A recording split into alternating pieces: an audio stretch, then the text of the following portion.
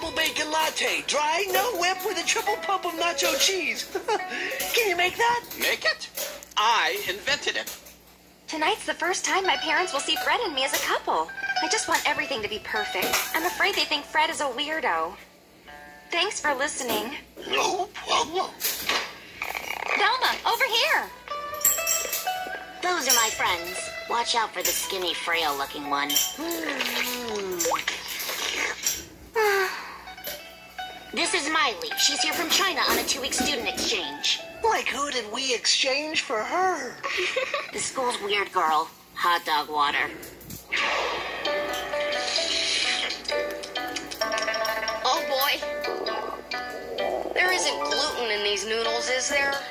Probably should have told you. I have a major gluten intolerance. Welcome to Crystal Cove, Mai Le. I think you're gonna love it here. Me too. Me too. Chen, this is Mai Le. She's visiting from China. Welcome. Uh, please try one of my Szechuan pork ice cream sandwiches on the house. uh, uh, excuse me. You know, there's a delegate from China visiting Crystal Cove right now. My boyfriend, Fred. I love saying boyfriend. Is showing him around town with his dad. My boyfriend, Fred's dad, is the mayor. Boyfriend. Daphne's mom and dad are hosting a dinner for him tonight. You should come. Will there be any cute boys there? Well, Fred, my boyfriend, of course. Oh, like, um, Oh, and Shaggy? Then I'll be there. For sure. Sister, you're playing with fire. Mr. Wang, what you guys need is a theme. Okay, Something get that makes your little country stand out. Something that says fun. Here in Crystal Cove, our theme is the world's most haunted tourist trap. I mean, town.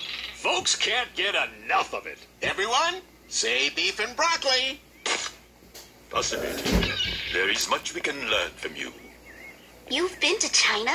no, but my stomach has. Scoob and I get Chinese takeout every single week.